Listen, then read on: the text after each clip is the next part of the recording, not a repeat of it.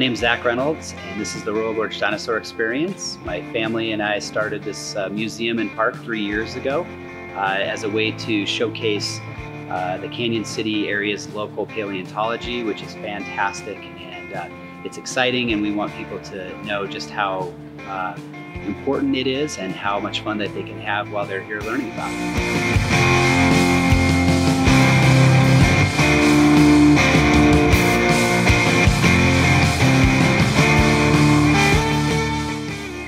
Have people here uh, at the Dinosaur Experience, uh, a lot of times uh, they're not exactly sure what they're getting into when they get here, but we've got a museum that uh, focuses on the local area of paleontology, um, where we have uh, many of the uh, more famous dinosaurs were first discovered here, like Stegosaurus, Allosaurus, Brontosaurus, and several others.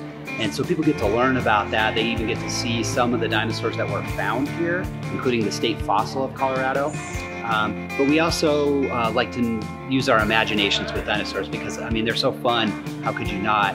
And so we created an outdoor trail with uh, animatronic dinosaurs where they're uh, fully skinned and lifelike creations where they move and make sounds. And you can really kind of take that trip back into time to see, you know, what they might have looked like, and how, how they might have looked in this environment where they actually lived, uh, you know, so many eons ago.